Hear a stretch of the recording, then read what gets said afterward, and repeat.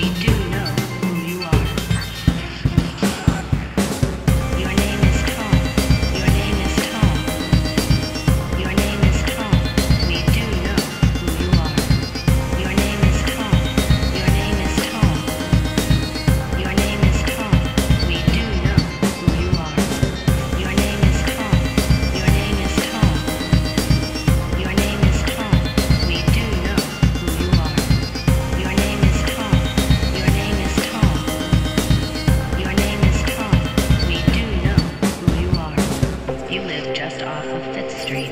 Nice car, Tom. Nice house.